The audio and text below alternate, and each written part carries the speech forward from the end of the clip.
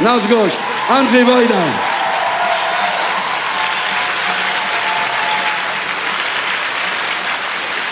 I Krzysiu, który będzie prowadził rozmowę. Dziękuję bardzo.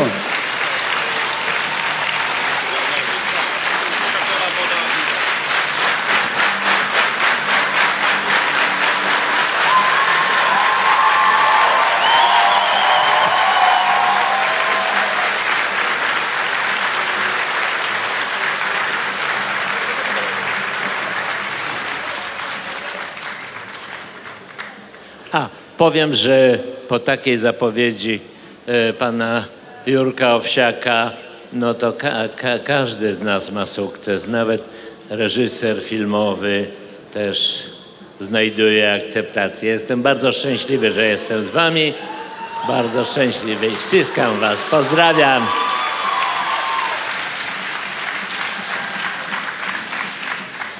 To miało być do pana pierwsze pytanie, jak się panu podoba na przystanku Woodstock, ale właściwie odpowiedź na to pytanie już padła. A, pan chciał zadać No tak chciałem postawić, ale już pan powiedział. E, e, Powiem wam, że to jest e, wydarzenie bardzo takie piękne w moim życiu, bo ja właśnie chciałem zobaczyć zaprzeczenie, które całe życie mi wciskali, że Polacy nie potrafią zrobić żadnego, nic wspólnie. Możesz zrobić coś dla wspólnoty, ale wspólnota wspólnie nie jest w stanie niczego zrobić, bo Polacy są indywidualiści, każdy ciągnie swoją stronę. To jest pięknie, że potraficie się tutaj zejść, że potraficie zaakceptować jedni drugich, bo bez tego nie ma ani wolności, ani nie ma demokracji. I, i naprawdę patrzę na z fantastyczną radością. Jestem bardzo szczęśliwy, że dożyłem tej chwili. Wczoraj była okazja, by obejrzeć pana film Katyń. Dla jednych to była okazja, by ten film zobaczyć po raz pierwszy, inni mogli go sobie przypomnieć. Ale co ciekawe, Katyń miał premierę w roku 2007. Rozmawiamy dziś, 1 sierpnia, a 50 lat wcześniej, przed Katyniem, była premiera innego filmu, filmu Kanał, opisującego to, co działo się przez 60 dni, w związku z 63 dniami Powstania Warszawskiego. To był pierwszy film o powstaniu, jaki pan nakręcił w 1957 roku i mówi się, filmoznawcy tak twierdzą, że to był początek polskiej szkoły filmowej, premiera tego filmu. Pan zobaczył wojnę mając lat bodaj 13, jeśli dobrze policzyłem. Yy, zrobił pan kanał mając lat nieco ponad 30. 27. No prawie 28. Jak, jak, jak, jak pan wtedy podchodził do, do tego filmu? Był pan pierwszym człowiekiem, który film o powstaniu na podstawie e, Jerzego Stefana Stawińskiego nakręcił. To było trudne wtedy? Podjęcie tego wyzwania? Ja nim odpowiem na to pytanie, poproszę o, o 17 normalnie w Warszawie. Wszyscy stają na ulicach, bo to jest moment, kiedy rozpoczęło się powstanie i to jest bardzo piękny zwyczaj. Wstańcie wszyscy i minutą ciszy uczcimy tych wszystkich, którzy zostali, zginęli w powstaniu warszawskim. Zrobimy to wcześniej, bo mamy akurat nie wspólno, wspólne spotkanie.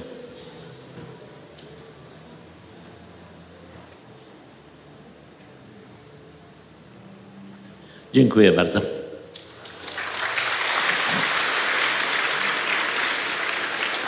Ale wróćmy do filmu Kanał. e, Dlatego powiem jak on tak. powstawał. Tak, e, powiem tak. E, nie było łatwo zrealizować film w tamtych czasach o powstaniu warszawskim. Z bardzo prostej przyczyny.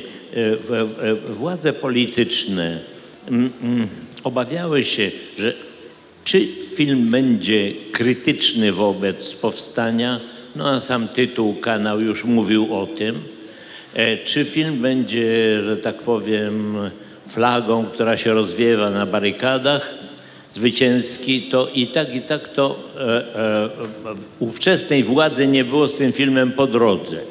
Dlatego, że przecież wszyscy wiedzieli dokładnie, że po drugiej stronie stała Czerwona Armia, stał Stalin ze swoimi czołgami i nie ruszał na, na pomoc powstania tak długo, aż powstanie nie upadło. W związku z tym tego nie chciano. Równocześnie żyli jeszcze wtedy bardzo wielu uczestników powstania. I e, chociaż e, scenariuszem e, kanału było prawdziwe opowiadanie, prawdziwe doświadczenie e, Jerzego Stefana Stawińskiego, który był porucznikiem i dowodził kompanią, tak jak to jest pokazane w filmie, e, to e, to było tak niezwykłe, że pamiętam, kiedy pokazaliśmy film w Cannes, e, amerykańska delegacja, która przyjechała na ten festiwal, zabrała Jerzego Stawińskiego na bok i mówią, niech pan jedzie z nami do Hollywood, pan ma głowę, wymyśli coś takiego, wojna w kanałach, to nikt na to nie wpadł. On mówi, ale ja byłem dowódcą kompanii, prowadziłem tą kompanię, tuśmy weszli, tam wyszliśmy z kanałów, tu weszliśmy e, całą grupą, a tam już wyprowadziłem, tylko czy wyszedłem ja sam. Oni mówią, dobrze, dobrze, no pan tak opowiada, bo to każdy autor tak musi, ale przecież to jest wszystko wymyślone w pańskiej głowie. Tak dalece to się wydawało wszystko nieprawdopodobne. Ale równocześnie to była prawda. I teraz, czy ta prawda mogła być wtedy e, przyjęta? Zwłaszcza, że było tak wielu ludzi, którzy brali udział w powstaniu, którzy, że tak powiem, widzieli to na swoje oczy i zabrali z tego powstania no to, co najlepsze, jak to zwykle bywa. No ale powstanie równocześnie było wielką stratą. I to po, dzisiaj, jakbym robił film o powstaniu, zrobiłbym taki sam.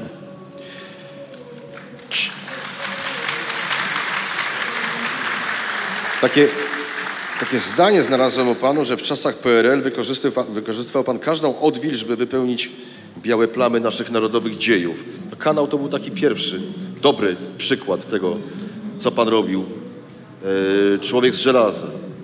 No i wreszcie Katyń. Takie trzymilowe kroki. E, tak, tylko że niektórzy uważają, że ja byłem dzieckiem szczęścia. Ja nie, nie chcę tego prostować, bo rzeczywiście życie dało mi więcej satysfakcji niż mi się należało. To jest pewne, razem z dzisiejszym spotkaniem. Ale e, muszę powiedzieć, że żeby zrobić film Człowiek e, z e, marmuru, musiałem czekać 12 lat. 12 lat wcześniej był napisany scenariusz przez Aleksandra Ścibora-Rylskiego. Błyskotliwy scenariusz, fantastyczny, wymyślony. E, ja też się troszkę dołożyłem, bo dołożyłem się do tego scenariusza w ten sposób, że występuje tam młoda dziewczyna, która jest reżyserem filmowym. No i myśmy wtedy żartowali, że e, w latach e, 70. no to e, e, e, 50. lata, czyli początek Polski Ludowej, to było jak powstanie styczniowe. Tam zresztą pada nawet taka kwestia. I w związku z tym myślałem, jakby to zrobić, że, że jeżeli mają się, ma widownia zbliżyć się do tamtych czasów, lat 50., to trzeba wprowadzić kogoś młodego, kto dowiaduje się, a dlaczego się dowiaduje? No bo robi film, spotyka ludzi, przepytuje ich, nie chcą tego filmu, ona walczy o ten film. To, to stworzyło, że tak powiem, dobry, tak dobrą osnowę ale wszystkie te opowieści Aleksander Ścibor-Rylski, nieżyjący już wspaniały scenarzysta e, Polskiej Szkoły Filmowej właśnie, to on to wymyślił, on to wynalazł, on to napisał. On, no a potem miałem wielkie szczęście, że znalazłem parę aktorów, taką jak Jurek Radziwiłowicz, z taką szczerością, aktora nie mieliśmy przedtem, no i Krystynę Jandę, która naprawdę pokazała wtedy, Wiele osób nie było takich szczęśliwych, bo nie, nie bardzo lubili to, co ona gra, że to było zbyt ekscentryczne, zbyt takie. Ale myślę, że właśnie to było wtedy zapowiedź jakichś innych e, wydarzeń filmowych, jakiegoś, że tak powiem, innych postaci, które się pojawiają w polskim kinie. No i wreszcie Katyń, rok 2007, premiera. Czy nie dało się tego filmu nakręcić wcześniej? Czy Katyń nie mógł powstać w roku 2000, w 1995? E, mówi pan o filmie Katyń. O filmie Katyń, tak. No oczywiście. E, i, i, to jest, e, i, I to jest prawda, że film Katyń e, e, czekał, bo od 1945 roku do 1989 obowiązywała formuła, że e, zbrodnia katyńska jest zbrodnią niemiecką. No, bo jeżeli przyjaźń, wieczna przyjaźń pomiędzy Polską i Związkiem Radzieckim miała być na tysiąc lat, no to trudno było, żeby ta e, przyjaźń zaczynała się od zbrodni, w której Związek Radziecki morduje 22 tysiące polskich oficerów, a właściwie polskiej inteligencji. Ale w momencie, kiedy już można było taki film zrobić, dlaczego tak długo trwało, żeby ten film... Powiem szczerze, że ja trzymałem tutaj nici tego filmu w swoim ręku. Dlaczego nie robiłem wcześniej? Bardzo trudno było zdecydować się, jaki ma być pierwszy film o Katyniu. Dlatego, że myślę, że to jest taki temat, który obejmuje e, no, wiele bardzo możliwości. Mogłem zrobić film o mojej matce, która oczekiwała ojca, bo ojciec mój jest jedną, jednym z tych oficerów, którzy zostali zamordowani e, w, e, w tej zbrodni katyńskiej. Mm, Ale wydawało mi się tak, jak zacząłem się do tego tematu zbliżać i pomyślałem o tym, że muszę to opowiedzieć ludziom, którzy niewiele wiedzą na ten temat, że muszę zrobić tak, żeby ten, w tym pierwszym filmie raczej pokazać wiele wydarzeń. Teraz jakie wydarzenia? No, ten scenariusz, który ja realizowałem, to już był czwartym scenariuszem czyli trzy napisane wcześniej nie satysfakcjonowały mnie. Wreszcie ten scenariusz powstał dokładnie tylko i wyłącznie z opowieści e, e, ludzi, którzy e, byli w sprawie katyńskiej, że tak powiem, e, brali udział. Razem z tym oficerem rosyjskim, bo niektórzy uważają, że to jest specjalnie zrobione po to, żeby w jakiś sposób no, próbować e, tutaj jakiejś mediacji. Nie, ja to zrobiłem dlatego, że to jest prawda. Poza tym ja znałem tych ludzi, e, e, reżyserów filmowych, pisarzy, wspaniałych, wspaniałą rosyjską inteligencję, radziecką wtedy, którzy byli w Czerwonej Armii. Dlaczego oni się nie mieli przyzwoicie za... A dlaczego Sołżenicyn? Dlaczego miałbym myśleć, że Sołżenicyn w takiej sytuacji, będąc oficerem Czerwonej Armii, zachowałby się inaczej? Nie, zachowałby się tak. Kiedy polska publiczność y, ten film zobaczyła w 2007 roku, no kolej rzeczy jest następująca. Potem film powinien obejrzeć świat. Jak pan myślał wtedy, kiedy obejrzą go Rosjanie? Ostatecznie obejrzeli go w 2010 roku. E, Muszę powiedzieć, że e, e, nie spodziewałem się przede wszystkim, że film będzie pokazany, że film będzie pokazany e, w, e, w telewizji rosyjskiej. No bo rozumiałem, że telewizja rosyjska jest pod taką kontrolą polityczną, że żeby zapadła taka decyzja, to ta decyzja musi czemuś służyć. E, No i kiedy dowiedziałem się, że film będzie szedł najpierw w telewizji y, Kultura, która y, jest y, telewizją nie tak jak Polska, bo Polska telewizja Kultura jest bardzo mało oglądana, to jest niszo, jak to się mówi, niszowe wydarzenie. Tam jest odwrotnie, tam miliony ludzi oglądają ten program. Byłem zdumiony i byłem ciekawy, co z tego, dlaczego to się dzieje i co z tego dalej ma wyniknąć. Potem dowiedziałem się, że film mój został pokazany również e, w telewizji publicznej, czyli obejrzało kilkanaście milionów ludzi, trudno jest powiedzieć ilu. W każdym razie film zaistał w świadomości rosyjskiej e, widowni. E, I co mi się wydaje szalenie wane i, takie piękne, dla mnie też bardzo istotne, że kiedy 9, 9 10 kwietnia. nie, Mówimy o? mówię o defiladzie e, e, 9 maja. 9 maja, tak. 9 maja w Moskwie obejrzałem e, defiladę, e, której zawsze towarzyszyły portrety Stalina jako tego zwycięzcę, który prowadził e, e, sowiecki naród do e, zwycięstwa. I te portrety znikły. To pomyślałem sobie, że tu zachodzą jakieś zmiany i że te zmiany jestem szczęśliwy, że mój film mógł się do nich w jakiś sposób e, przyczynić. A czy sądzi pan, że uprawnione jest takie zdanie, że mm, pana film, pana Katyń jednocześnie otwiera No i zamyka tak na dobrą sprawę temat katyński w naszej kinematografii. Nie, nie myślę, żeby zamykał, dlatego że myślę, że to jest temat bardzo obszerny. Tu nie jest problem reżysera, dlatego że jest bardzo wielu w Polsce fantastycznych reżyserów. Tylko to, czym odróżnia się polskie kino, e, to co się nazywało Polska Szkoła Filmowa, od tego kina, które dzisiaj powstaje, to jest zasadnicza różnica polegała na tym, że my mieliśmy sojuszników w polskiej literaturze. Polscy pisarze pisali o tym, co my byśmy chcieli przenieść na ekran. Nie wszystko nam się udawało, bo wiele z tych powieści, wiele z tych utworów było objętych, że tak powiem, taką e, cenzurą. Bardzo trudno było na przykład zrobić opowiadania Borowskiego o, e, e, o em, naszym Auschwitz. Dlatego, że te opowiadania były tak drastyczne, że władze nie chciały takiego filmu, no i taki film do dzisiaj e, nie powstał. Ale mieliśmy literaturę, za którą myśmy szli.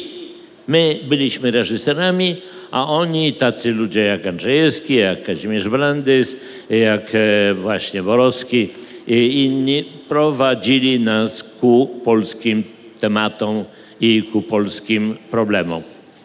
A czy czuł się pan urażony, kiedy po premierze pana filmu, pana Katynia, e, recenzenci pisali, że to nie jest film odkrywczy, że to nie jest film wybitny, a jeden z krytyków napisał, że to jest film pożyteczny. To pana bolą takie sformułowania? Ja myślę, że zrobić pożyteczny film to jest dobrze. Dobrze. No, no, dobrze. Dobrze. Dla, po, powiem, wam, powiem wam dlaczego też. Dlatego, że e, e, są takie tematy, gdzie reżyser nie powinien się ze swoim talentem i ze swoim tym za bardzo obnosić. Ja wiem, że to potem recenzenci, krytycy, tam, e, no, gazetki różnie piszą o tym. No ale to trzeba mieć odwagę. Oczywiście, że mnie jest łatwiej, bo zrobiłem wiele filmów i miałem świadomość, że tu nie chodzi o to, że ja się mam pokazać, tylko że ja mam zaprezentować temat, który po raz pierwszy jest na ekranie po tylu latach oczekiwania i że w jakiś sposób to jest e, najważniejsze, a nie e, błyskotliwy sposób e, zrelacjonowania tego, co się wydarzyło. Po tych trzech latach coś pan by w tym filmie zmienił w Katyniu? O coś by pan uzupełnił? Coś, coś poprawił? Może jakąś scenę inaczej nakręcił? Nie, muszę wam powiedzieć, że nie, ja zwykle jak zrobię film, to już go potem drugi raz nie oglądam. Nie, nie, nie, nie oglądam, dlatego że ja już go widziałem, no. Ja go widziałem najpierw. Znaczy pierwszy widział go operator podobno, bo to zawsze on widzi No tak, pierwszy. nie, nie, prawda jest taka. Najpierw go widziałem w swojej wyobraźni. To jest tak jak e, dziecko, no to każdy sobie wyobraża, jakie to będzie dziecko. Einstein to jest małe piwo. No ale potem dziecko jak dziecko, no jedno takie jest, wychodzi lepsze, a drugie wychodzi troszkę gorsze, nie? No i tak jest też z filmami dokładnie. Tak się zastanawiam, co przed panem jeszcze? Z, z, z tematów związanych z naszą historią. Na co pan ma ochotę? Co pana ciągnie? Wiecie, mój problem tylko polega na nogach. Stoję na nogach. No jak stoję na nogach, to mogę robić filmy.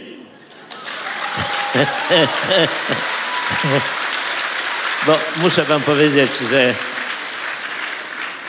widziałem siedzących reżyserów, ale to od razu też i film siada.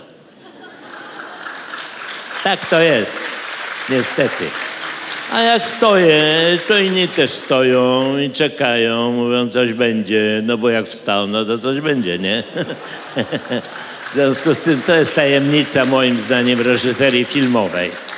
Ja nawet w teatrze reżyserowałem stojąc, bo mi się wydawało, że ten teatr jakaś taka, y, no to przynajmniej na stojąco, to może coś się ożywi, może coś będzie żywszego na scenie. Także mam wrażenie, że tu jest tajemnica. E, Jak długo stoję na nogach, będę próbował robić filmy. Chciałbym zrobić film, jeżeli mogę zapowiedzieć, chciałbym zrobić film o Lechu Wałęsie. Bo powiem wam, cieszę się, tak. Dokładnie tego samego zdania jestem. Powiem wam dlaczego. Dlatego, że są bohaterowie narodowi, którzy odgrywają w pewnym momencie życia narodu tą rolę, których nikt inny nie może odegrać. I Lech Wałęsa taką rolę odegrał. A że potem, czy lepiej, czy gorzej mu się powiodło e, w e, dalszych jego politycznych e, zmaganiach, no to słuchajcie, to nie, nie, a, a do Kościuszki. Dlaczego nie mamy pretensji do Kościuszki, że dalej, że tak powiem, nie, nie wrócił na czele wojsk francuskich i nie walczył? Bo nie wierzył w Napoleona. No nie, nie, nie miał, nie miał serca do tego. Także myślę, że chciałbym opowiedzieć nieduży fragment, a cieszę się bardzo, bo scenariusz do e, tego przyszłego filmu e, pisze Janusz Głowacki. Janusz Głowacki długo był w Ameryce, ma pewien dystans, ale pamiętam, że jak się toczyły obrady e, w stoczni, no to Janusz Głowacki tam siedział jako dziennikarz, patrzył na to wszystko. Także widział to z bliska, a potem zobaczył to wszystko z daleka z punktu widzenia Nowego Jorku i mam nadzieję, że da mi właśnie szansę e, takiego spojrzenia i chciałbym, żeby to był film, który obejmuje niewielki fragment życia Lecha Wałęsy, głównie właśnie z pierwszych chwil e, strajku, no i potem z tego zwycięstwa. No i nie mogę sobie darować tego, żeby nie zrobić sceny, gdzie Lech Wałęsa stoi przed amerykańskim senatem i mówi my, naród polski. Tak będzie się kończył film.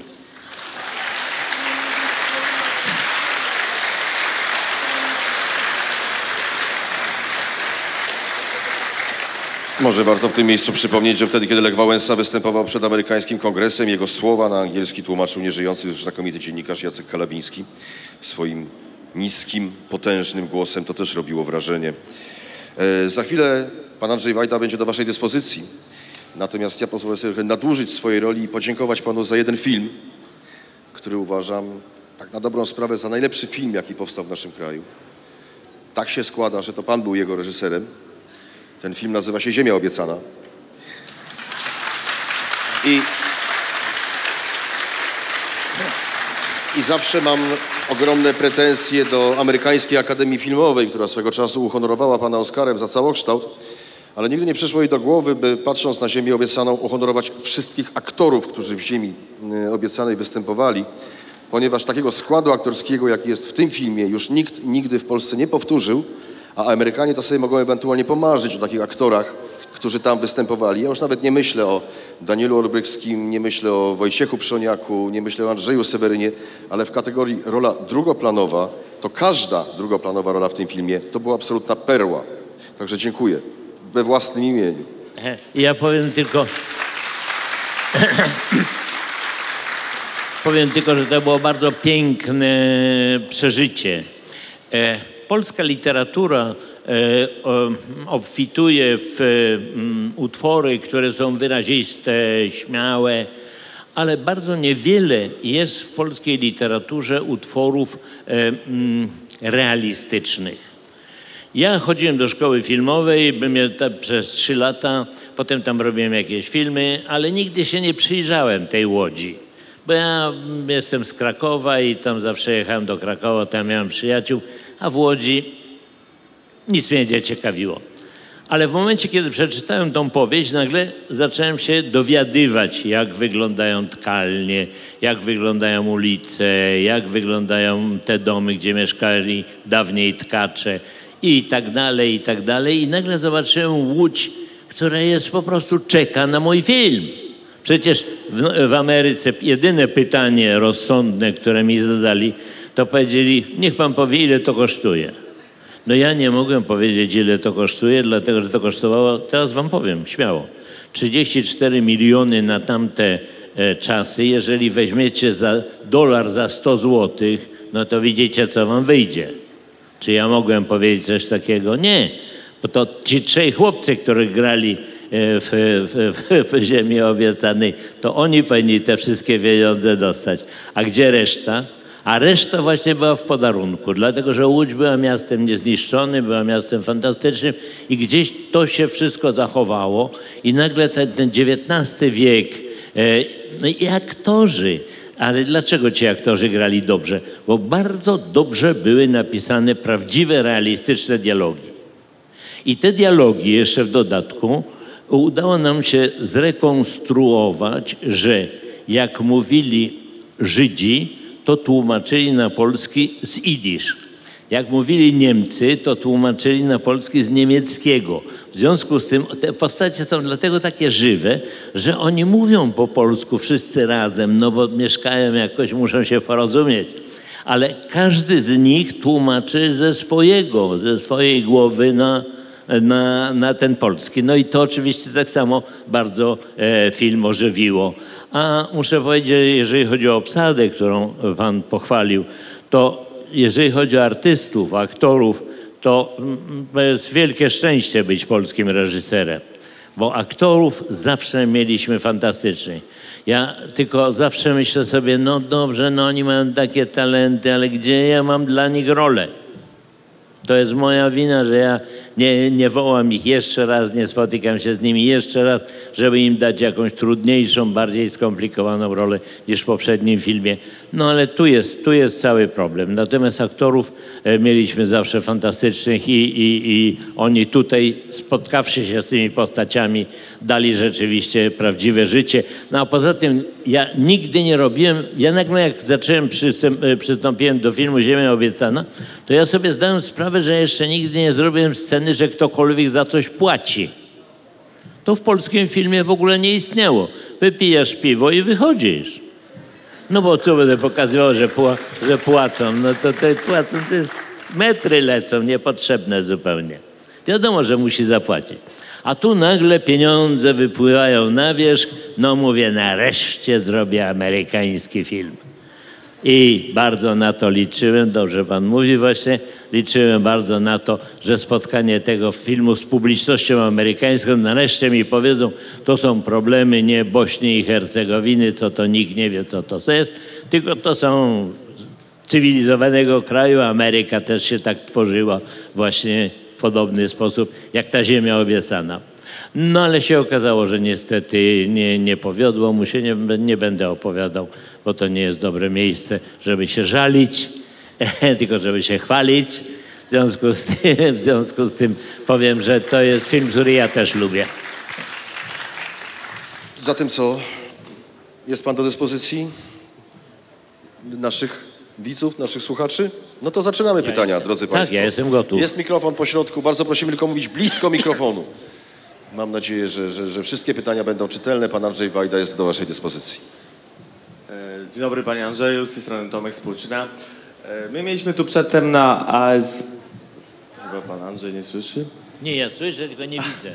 Tam, tam jest A, mikrofon, panie Andrzej. dobra. Tam. E,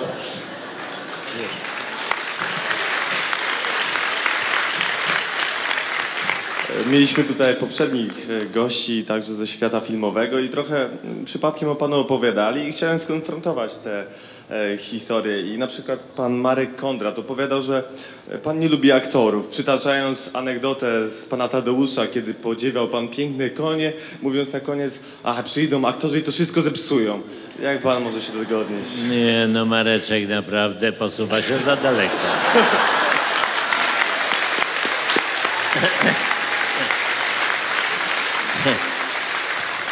Ja, ja wiem, że on chciał zrobić dobre wrażenie, ale zwłaszcza, że on imituje mój głos bardzo zręcznie. Tak. Ja tego, tego się najbardziej bałem, muszę powiedzieć, że ja będę występował po nim i to już marnowato wyjdę. tak. Nie, ja myślę, że dałem dowody. E, Po pierwsze dlatego, że są reżyserzy, którzy zakochują się od pierwszego wejrzenia w aktorach swojego pierwszego filmu. Potem razem z nimi robią następne filmy, razem się starzeją i razem odchodzą w niebyt. Lepiej jest i... A, cholera, może, może to źle wyszło. Że, że ja nie kocham tych aktorów, tych sam. Aha, to o to mu chodziło. A, tu go chwytam, tak.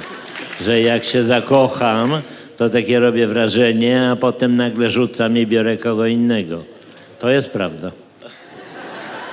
Tu nie będę się wykręcał.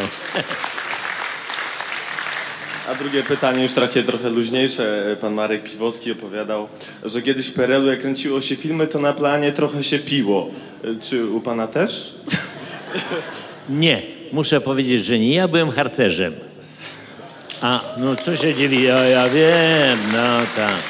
Ale za moich czasów harcerze nie pili wódki, nie wolno było pić wódki harcerzom. I potem y, okupacja, no to też jakby się trzymałem z daleka, chociaż pracowałem jako robotnik w różnych fabrykach, w różnych warsztatach, ale trzymam się osobno. Uważałem, że to jest jakby rola inteligenta, który chwilowo, że tak powiem, jest tym zajęty. Jak się zaczęła komuna, to muszę powiedzieć, że tutaj już z całą świadomością nie piłem wódki. Dlatego, że e, e, e, to wytwarzało pewną, pewne relacje pomiędzy ludźmi, które potem bardzo trudno było, że tak powiem, odwołać. A jak nie piłeś wódki, nie spotykałeś się z tymi ludźmi, tylko spotykałeś się z nimi tylko i wyłącznie na płaszczyźnie, na płaszczyźnie służbowej, moim zdaniem było łatwiej przeprowadzić to, co się chce.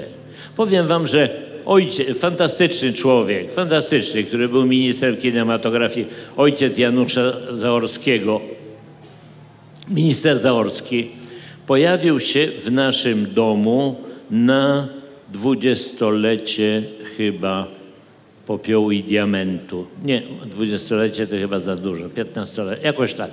No w każdym bądź razie już dawno nie był ministrem, pojawił się w naszym domu po raz pierwszy. To było bardzo ładne i wzruszające i e, e, tak e, nawet e, zaczął się tłumaczyć, że nieładnie się zachował, że do niewinnych czarodziei kazał mi dorobić zakończenie. I ja dorobiłem takie, jak on chciał, no bo już. No, a, ale tak to normalnie nie. I myślę, że to było nie. Picie wódki nie, ale oczywiście to nie, wy, nie wykluczało tego, że, że ekipa żyła normalnym życiem. E, I, i tylko, że ja, ja, ja wam powiem dlaczego też. Jak zrobiłem pierwszy film, to od razu dostałem wrzut, wrzut dwunastnicy.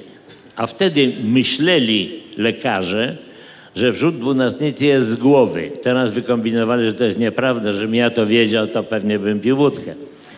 Ale mnie mówili, że nie trzeba pić wódki, bo to bardzo szkodzi na żołądek. No, więc tym bardziej musiałem się pilnować. E, A to mi się zdarzyło zaraz przy pierwszym filmie, a chciałem potem jeszcze zrobić następne. Dziękuję bardzo. Dziękujemy. Następne pytanie prosimy. Tak, panie Andrzeju, było o e, fantastycznych filmach takich jak Kanał, była Ziemia Obiecana. Był oczywiście Katnia. Ja mam takie pytanie o trochę mniej znany film, e, mianowicie o Lotną. E, I tą słynną scenę szarży polskiej kawalerii na niemieckie czołgi, no, która przyczyniła się, no wręcz utrwaliła ten narodowy mit. I teraz takie moje pytanie, na ile to była taka symbolika, charakterystyczna dla pana filmów, a na ile być może naciski z góry, e, żeby wszystko to sanacyjne postawić po prostu w złym świetle. Nie, wie pan, że to nie. Dlatego, że my, e, publiczność, która wtedy przyszła do kina, ona nie, widzi, nie widziała tego jako krytykę, tylko widziała jako bezsilność. Jeżeli po jednej stronie były czołgi, a po drugiej stronie my z szablami, a to niestety jest prawda, dlatego że przecież ja jestem dziecko, dziecko pułku, wychowany w koszarach, E, ojciec mój był oficerem, więc widziałem, jak to powoli ta armia się budowała, jak się powoli, że tak powiem, no uzbrajała i niestety nie zdążyła się uzbroić, żeby się zmierzyć z niemiecką. E, także to, to nie był problem tej widowni. Widownia raczej to odebrała w ten sposób, że Polacy z szablami na czołgi. No to jeżeli ja robiłem film o polskiej kawalerii, e, to czy ja mogłem opuścić to, e, no jakby nie zamienić to w scenę, nie pokazać. Oczywiście, że takiej sceny nie było. No ale, ale ta scena pokazuje be, be, be naszą, e, naszą odwagę i naszą bezsilność równocześnie. Także nie, publiczność, która wtedy oglądała ten film, nie oceniała go w ten sposób. E, Jeszcze, jeszcze, jeśli mogę jedno pytanie, a dzisiaj, czy, czy ta lotna wyglądałaby tak samo, czy może decydowałby się pan tą scenę wyciąć, zmienić? Jakby pan zaadresował ten film do dzisiejszej widowni? Wie pan, nie trzeba przerabiać filmów, które się już zrobiło. Po prostu dlatego, że to bym nie nadążył za widownią. No bo jakby to... Widownia się odmienia. widownia się... No niestety, to jest, to jest ryzyko, które artysta podejmuje. Ryzyko Jerzego Andrzejewskiego, kiedy napisał Popiół i Diament, było takie, że napisał książkę, która była e, lekturą szkolną. Ja co prawda nie czytałem tego i to mi Janczar opowiedział, streścił mi, mówi, słuchaj, a dobra książka jest, mówi, tam dobre zakończenie, na końcu wszyscy tańczą, poloneza. Ja mówię, nie gadaj. No mówi, to, no, tańczą, jak się nazywa? Popiół i diament. No to ja to przeczytałem i napisałem swoją propozycję dla Jerzego Andrzejewskiego. Ponieważ już był rok 57, sytuacja była zupełnie inna niż wtedy, kiedy Jerzy Andrzejewski pisał swoją powieść. Były dwie możliwości. Albo on mi powie nie. To jest powieść, która ma już swoją, że tak powiem, akceptację, swoje przyjęcie w szkołach. Nie będziesz mi robił innego filmu. Albo zrobić to, co zrobił, mianowicie dał mi szansę, żebym ja na ten film spojrzał jeszcze raz zupełnie inaczej. Bohaterem Popiołu i Diamentu jest Szczuka. Komunista Szczuka. To, że on w, e, w, e, w, w filmie jest e, komunistą, który walczy w Hiszpanii, to nie jest bez znaczenia. Dlatego, że myśmy uważali, że ci polscy komuniści, którzy odważyli się, pojechali do Hiszpanii i walczyli tam o cudzą wolność, że to jest e, coś, e, że jest coś w nich e, szlachetnego. I nie chciałem, żeby ta postać była, że tak powiem, skompromitowana. Ale dla mnie bohaterem nie był on, tylko był Zbyszek Cybulski w roli Maćka, bo, ten, bo to była jakby postać mnie bliska. To byłem ja. To mnie mogło spotkać w 1945 roku, gdybym przypadkowo, że tak powiem, dalej zaplątał się, gdyby dowódcy e, moi e, z czasów okupacji przeżyli wojnę, gdyby mnie zawołali do wykonania jeszcze jakiejś jednej akcji, może tak i moje życie by się zakończyło. Więc go dobrze rozumiałem. I dlatego jest coś pięknego, że Jerzy Andrzejewski e, e, zdecydował się, żeby zrobić od nowa film e, Popiół i Diament. Zresztą muszę powiedzieć, że najpiękniejsza chwila, jak, gdzie go widziałem, to w, e, w, jak był zjazd e, Solidarności e, w, w hali Oliwia. I on siedział koło nas, stary człowiek, który przeszedł już całą drogę życia i siedzi razem z tymi robotnikami w tym miejscu, gdzie trzeba. To jest piękna historia polskiego artysty, polskiego pisarza, który rozumie, w czym bierze udział. Dziękuję bardzo.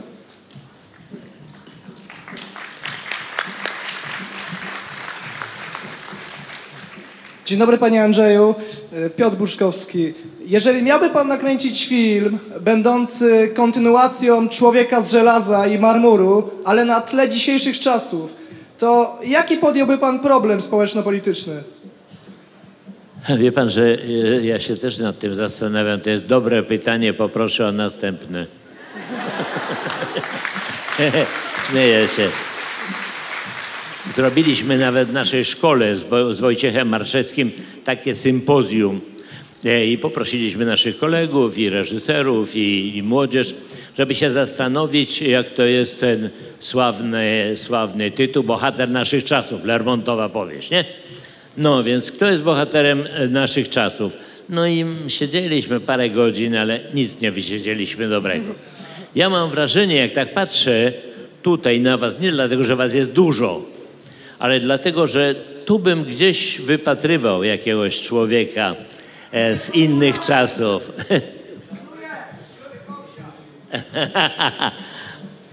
Ja myślę, że, że właśnie tu by trzeba było szukać gdzieś e, człowieka nowych czasów, który próbuje e, stworzyć nową sytuację, gdzie Polsce ludzie przygotowują się do tego, żeby wzajemnie się rozumieć, żeby wzajemnie się akceptować, żeby spotykać się i nie muszą mieć tych samych poglądów, nie muszą mieć tych samych upodobań, ale, ale potrafią być razem. To jest, moim zdaniem, to jest wielkie, wspaniałe dzieło pana Jerzego Owsiaka, E, ale, ale też widocznie jest taka potrzeba, bo gdyby jej nie było, to nawet tak genialny człowiek jak Jerzy Owsiak też by tego nie, nie, nie dokonał.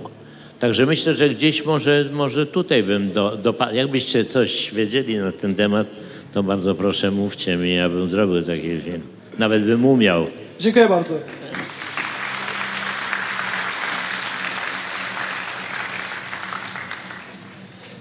Dzień dobry panie Andrzeju. Na wstępie bym chciał podziękować panu bardzo. Wielki zaszczyt jest e, móc zadać panu osobiście tutaj pytanie. Na wstępie dziękuję bardzo za wszystko, co pan zrobił dla polskiego kina do tego czasu.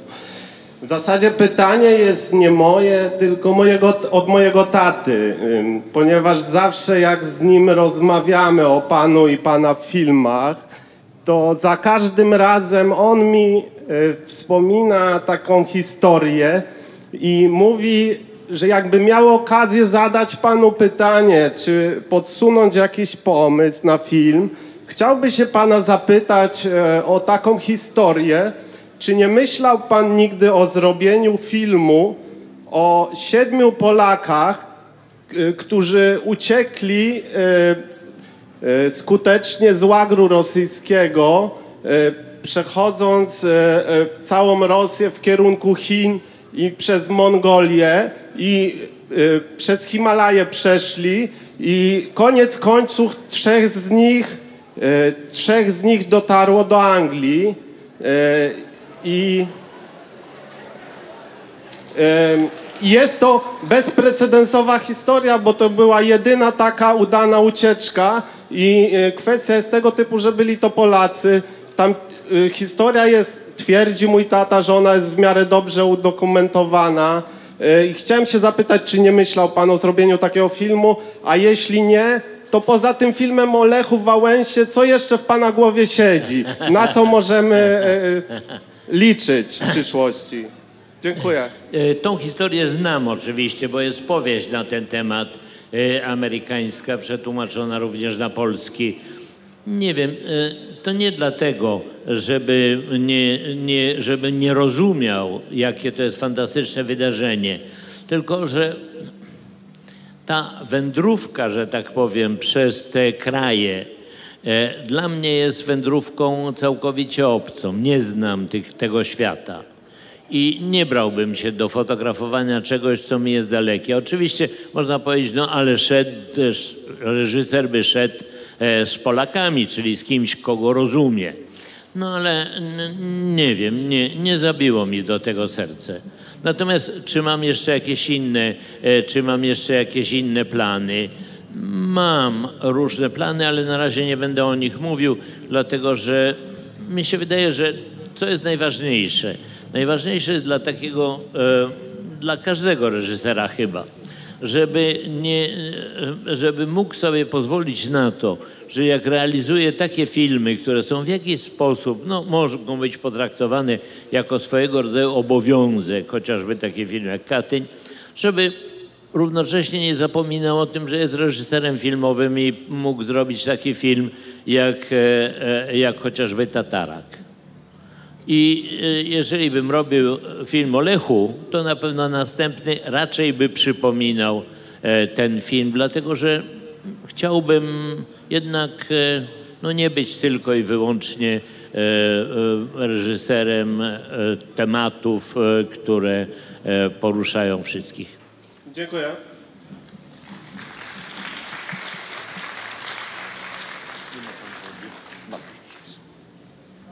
Dzień dobry, Hanna Kokot. Ja w tej sytuacji nie mogę omieszkać, zasygnalizować, iż osobiście wręczałam panu laur, y, diamentowy laur y, kompetencji i umiejętności Śląskiej Izby Gospodarczej. Miałam ten zaszczyt, czym czułam się niesamowicie znobilitowana, tudzież panie Żenej Kwiaty, y, panie Krystynie. Ale moje pytanie pierwsze, bo proszę wybaczyć. E, o Wiktorię Gąsiewską. Wydaje mi się, że dziewczyna jest niesamowicie utalentowana. Co pan o tym myśli? Dlaczego pana?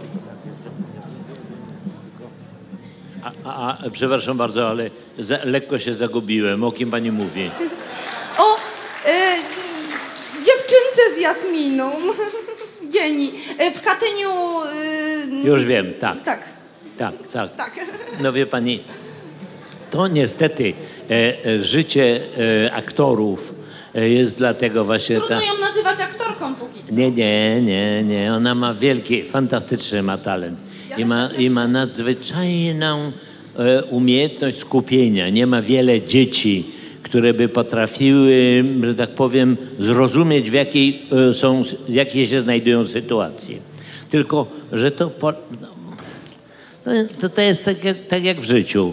E, e, e, Spotyka się pani w pewnym wieku z pewnymi sprawami, a potem to mija, pojawia się co innego. Nie wiadomo, czy w jej życiu pojawi się jakaś wielka, wspaniała rola, kogo ona mogłaby zagrać. No jest dużo ról dziecinnych, ale ja nigdy nie myślałem o tym, żeby zrobić film tylko i wyłącznie ze względu na aktora. Nawet jak chciałem zrobić film z Krystyną Jandą, bo bardzo chciałem się z nią po latach spotkać i mówię o filmie Tatarak, to, e, e, to e, chciałem się spotkać z Jarosławem Iwaszkiewiczem, którego wcześniej miałem szczęście i znać i, i z nim pracować. Także nie, nie, nie, nie, Chciałoby się. ja bym też chciał. Ja bym też chciał, bo to jest fantastyczny talent, naprawdę. No. A drugie pytanie to nam kazano zadać wcześniej a propos drugiego Katynia, tak? Katastrofa Tupolewa, którym pan rzekomo miał okazję lecieć. Nie rzekomo, tylko naprawdę. No właśnie, chcieli, ja bym chciała, nie wiem jak reszta towarzystwa, ale mam nadzieję, że też podobno pan ładnie o tym opowiada. Chciałabym o tym posłuchać. Nie, ja tylko chcę opowiedzieć o tym. Nie wiem, czy to jest ładne opowiadanie, tylko po prostu, Tak nam powiedziano. tylko po prostu e, e, mm, pre, e, kancelaria premiera Tuska zwróciła się do mnie i do, nie, zwróciła się do Krystyny e, Zachwatowicz i do mnie, żebyśmy towarzyszyli mu w jego podróży do, e, do, na groby e, katyńskie, gdzie, e, że tak powiem, będzie go oczekiwał e, premier e, Putin. Bez jednej chwili namysłu powiedzieliśmy tak. I to się odbyło. Odbyło się coś bardzo poruszającego w moim przekonaniu. Po pierwsze, zobaczyłem, jak e, e, jednak człowiek, którego niezależnie od tego, że jest tylko premierem, jak, go, e, o, o, e, jak patrzy na niego Rosja, jak on klęka e, i daje wyraz swojej, swojej, że tak powiem, no, zrozumienia i swojego, swoich uczuć przed e, tablicą, gdzie są nazwiska i gdzie, e, na którym również i mój ojciec istnieje. W związku z tym zobaczyłem scenę, którą chciałem zobaczyć, bo chcę, żeby nasze stosunki polsko-rosyjskie się układały lepiej. Potem zobaczyłem scenę, która jeszcze bardziej mnie wzruszyła. Mianowicie okazuje się, że premier się udał na cmentarz, bo przecież polscy oficerowie zamordowani, e, w, pogrzebani w Katyniu i zamordowani e, w tym lesie e, są, leżą po, po, w tym miejscu, gdzie jest po- pochowane dziesiątki tysięcy ofiar stalinowskiego terroru z 1937 roku. I muszę powiedzieć, że to było piękne, że nagle nasz premier i premier Rosji udają się na to miejsce, gdzie będzie wybudowana w przyszłości świątynia i gdzie będzie wskrzeszona pamięć właśnie o tych, którzy zostali zamordowani. Przecież to jest piękne, że Polacy właśnie przed swoją e, cześć dla zmarłych, przez swoje poczucie tragiczności e, nagle wskazują e, Rosjanom, że i oni powinni się upomnieć o, o to jest, to, to jest bardzo piękne e, i bardzo poruszające wydarzenie i wydawało mi się, że to, co się miało odbyć, to się odbyło. Natomiast dostałem telefon z kancelarii prezydenta, żeby się udać razem z nim samolotem na następne spotkanie, no ale ja zawiadomiłem, że już jestem wcześniej e, umówiony z panem premierem i że z nim Całe się uda. szczęście. Nie wie pani, nie, Bardzo się nie, z tego powodu cieszymy, przynajmniej ja. Nie chcę o tym mówić, dlatego że nie, a tak wypadki trzeba Pan po prostu... jest nam jeszcze Nie. potrzebny, panie Nie, Andrzeju. nie, wszyscy byli potrzebni. Wszyscy, którzy lecieli w tym samolocie, byli nam potrzebni. Owszem, byli- ale dobrze, że nie straciliśmy więcej. Wie pani, ale ja bym nie chciał, żeby mieszać dwóch rzeczy ze sobą. Wypadki lotnicze się zdarzają i nie trzeba mieszać tego z polityką. Bardzo to, to, to mnie bardzo uraziło, muszę powiedzieć. I Nie w tym rzecz, po prostu dobrze, że tam nie było więcej wartościowych osób. Bardzo dziękuję za odpowiedź. Dziękujemy bardzo. Następne pytanie. Dzień dobry. E, Ja mam pytanie czysto techniczne. Chciałbym się spytać o dźwięk w polskich filmach. Skąd się bierze ta, ta różnica między naszymi polskimi produkcjami a zachodnimi? Czy to jest kwestia braku pieniędzy, jakiegoś brak specjalistycznego sprzętu? Mimo, że obraz mamy na najwyższym poziomie, a przyjęło się mówić, że e, polski film można poznać po dźwięku. Skąd się bierze ta przepaść? Słuchajcie, nie mogę wam na to odpowiedzieć. Ja sam się za 55 lat robię filmy, zastanawiam się, czy nie udałoby się nauczyć kogoś robić dźwięk. Widocznie nie da się. A nauczyliśmy scenografów, Alan Starski dostał z ten, no, Oscara, dostali inni nasi koledzy, operatorzy, a dźwięk nam nie wychodzi. Nie wiem dlaczego. Nie potrafię na to odpowiedzieć, bo przecież jeszcze za moich czasów, za moich czasów, jak ja byłem młody i robiłem pierwszy film, to dźwięk się nagrywało na taśmie optycznej. I siedział człowiek, tak patrzył, miał oko przyłożone do lubki, a tam ta taśma szła i było wiadomo, czy się rejestruje, czy nie. I kurczę blade, tamten dźwięk był lepszy niż teraz. No, To prawda. jak to jest? Ja nie, nie, nie potrafię panu na ten temat odpowiedzieć, bo to nie jest prawda, że Polscy, Polacy nie są zdolni do techniki. To nie jest prawda. Dlatego, że mamy fantastycznych ludzi, którzy e, zaproponowali, robią i prowadzą rozwiązania techniczne, chociażby nagłośnienie tutaj. A tu nie wiem, nie mogę tego sobie wytłumaczyć i, i, i sam czekam, że ktoś może mnie powie, jak to jest. Dziękuję. Dzień dobry. Mam na imię Igor. E, Chciałem się spytać, jak odnosi się Pan do e, takich opinii, według których e, decyzja o wybuchu powstania warszawskie- warszawskiego e, jest negatywną decyzją w polskiej historii. E, Zadaję to pytanie, ponieważ e, uważam tą decyzję za bardzo bohaterską, a sam nie umiem e, odpierać takich opinii. Rozumiem.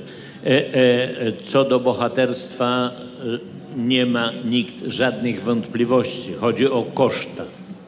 Czy, te, e, czy to, co się stało po powstaniu Warszawy, czy można, nie, powiem inaczej. Pytanie jest takie, czy można było wydawać rozkaz rozpoczęcia powstania tak dalece nie mając e, rozeznania w sytuacji ogólniejszej?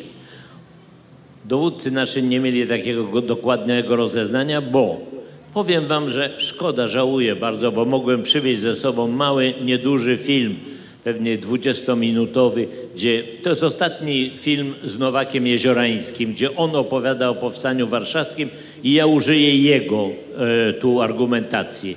On mówi, że kiedy przyjechał jako kurier e, z Londynu do Warszawy i dowiedział się, że będzie powstanie, to po pierwsze usłyszał od dowódców, że będzie desant lotniczy. On mówi, dobrze, ale ja byłem w Brindisi, tam jest po tego, to mówi, są trzy samoloty, ale dwa są w naprawie. Więc na co wy liczycie? No jak to? My mamy flotę przecież e, powietrzną, która walczy u, u boku naszych aliantów, to oni muszą nam pomóc. Więcej była pomysł, że będzie też i desant e, morski od strony Gdańska. No krótko mówiąc, liczono na wszystkie możliwe, e, e, na wsze, wszelkiego rodzaju pomoc. Liczono też na to, że Niemcy już są tak pani, że widać było, jak uciekają wozami konnymi. To ja sam widziałem na własne oczy, więc rozumiem, że to była sugestia, że już nie są w stanie e, do, do, do żadnej, e, nie, nie mają szans e, na, na, na walkę. Tymczasem okazuje się, że wkroczyła zupełnie świeża, nowa dywizja z, z Italii, SS, która właśnie była gotowa do walki w ulicach i zrobiła to, co zrobiła. Także niestety, ale ja muszę powiedzieć, że e, ta decyzja została podjęta e, w, w nierozsądny sposób. Dziękuję bardzo. Myślę, że fajnie by było, jeśli byśmy mogli ten film z panem Jeziorańskim obejrzeć za rok. A tutaj właśnie na przystanku jeszcze mam takie bardzo prywatne pytanie. Czy kojarzy pan takiego człowieka, który pracował w laboratorium warszawskiego WFD i WF e, w latach 70., który nazywał się pan e, Witold Czołnik? Tak, oczywiście. Dziękuję bardzo. Dziękuję, dziękuję. Miło, że pan wspomniał. Dzień dobry, Michał z Kielc. E, Mam pytanie takie luźniejsze, e, mianowicie co według Pana jest najtrudniejsze? E, Jak, jakie emocje wydobyć u widza? Czy wystraszyć go, rozśmieszyć, czy może zmusić do refleksji? Jaki gatunek filmowy jest najtrudniejszy do zrobienia? Wie pan, że jeżeli się chce dobrze przestraszyć, no to trzeba być Hitchcockiem.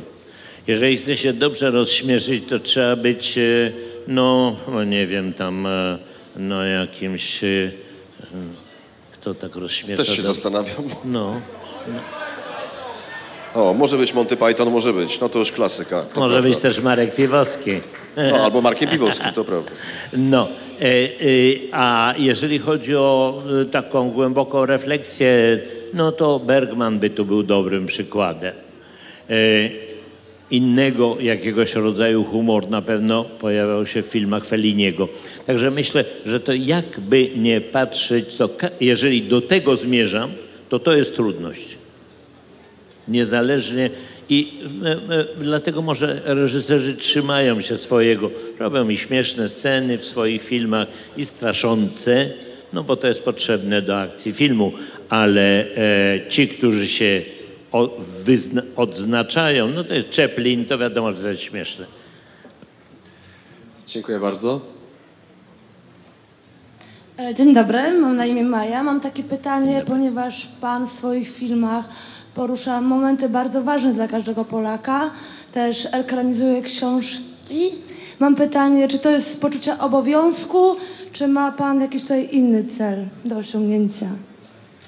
Nie, nie, to nie, nie ma takiego obowiązku, żeby robić filmy. To jest taka katorga, żeby zrobić film. Że jaki to obo- obowiązek? To jest, chodzi o to, żeby to przetrzymać. Robię filmy, y, między innymi takie, o jakich pani mówi, dlatego że wiem, że publiczność na nie oczekuje. Że one są w jakiś sposób, no, że, że, że gdzieś mam takie przeczucie przynajmniej, że jest publiczność, która chce te filmy zobaczyć. Nikt nie przypuszcza na przykład, że film Pan Tadeusz może mieć takie, e, takie no niby, bo a, Pan Tadeusz, Pan Tadeusz. Nie, tylko moment, w którym ten film się pojawił, był szczególnym momentem, dlatego że Polacy jakby szukali odpowiedzi na pytanie, no dobrze, no tu my się tu zmieszamy z tą Europą, z tym wszystkim, z tymi wszystkimi językami, no ale kim my jesteśmy? No ale jak się słyszy polski język z ekranu, e, tak jak mówią te aktorzy e, di- dialogami, e, e, e, dialogami Mickiewicza, no to wiemy, kim jesteśmy, nie? Dziękuję bardzo.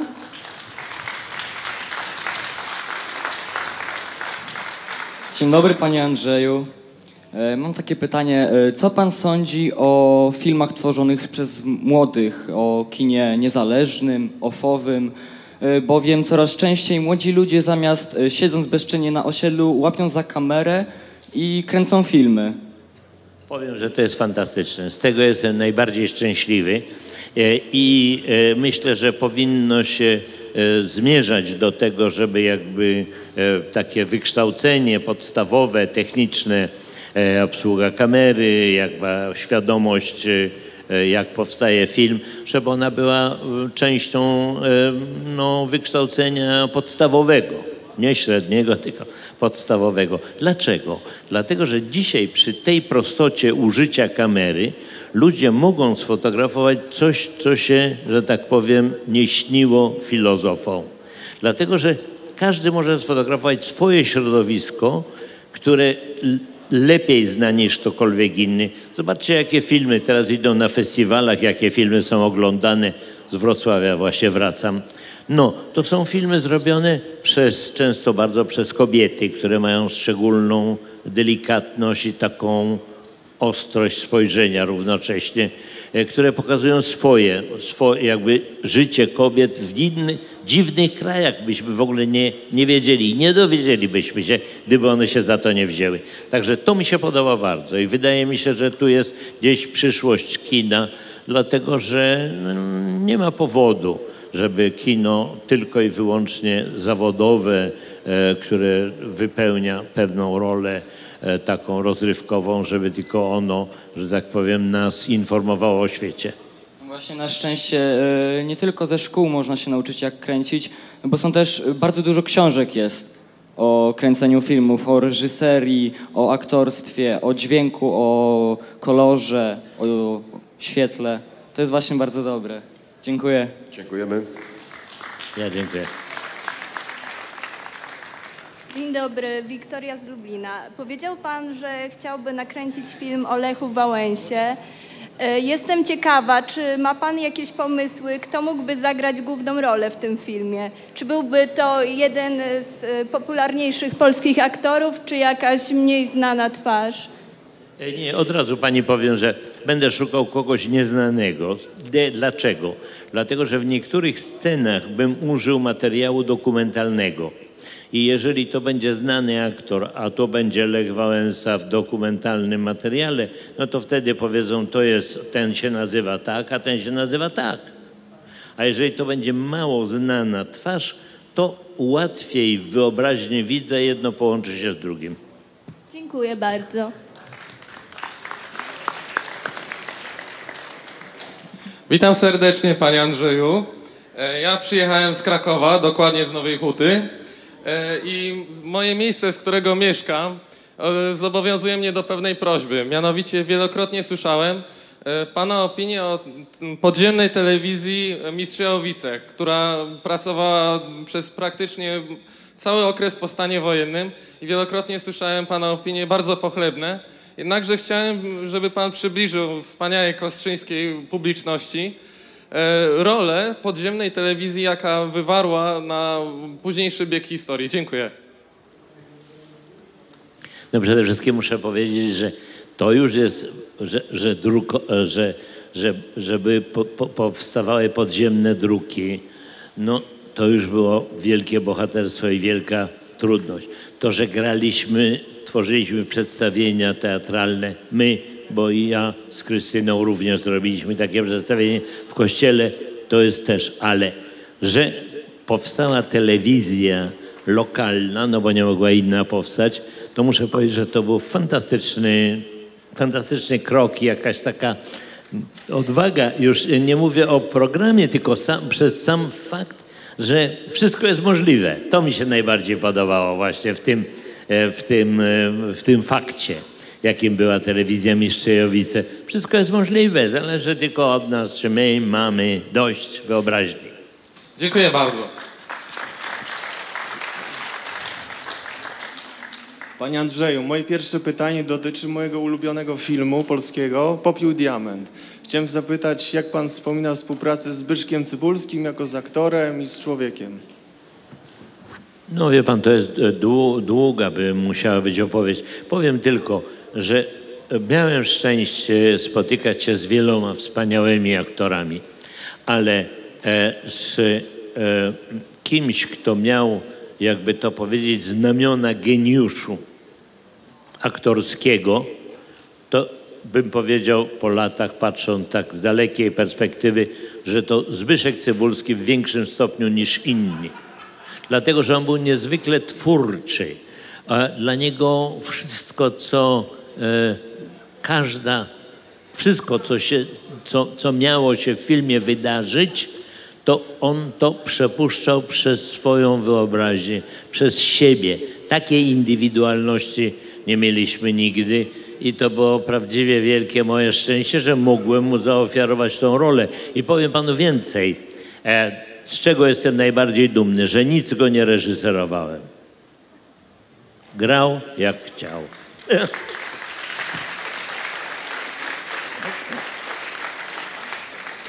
Mam jeszcze drugie pytanie, być może będzie troszeczkę niewygodne, ale e, e, kilka dni temu oglądałem e, dokument właśnie o tworzeniu popiołu i diamentu i w pewnej chwili powiedział pan takie zdanie, że wielką pana siłą, czymś co sprawiło, że stworzył pan tyle niezwykłych filmów i mógł to zrobić, było to, że Nigdy nie angażował się pan w politykę, nigdy nie był z nią związany i to pan sobie ceni. Czemu nagle postanowił pan e, zmienić zdanie i no, zaangażował się w, to, e, w te s- os- ostatnie sprawy?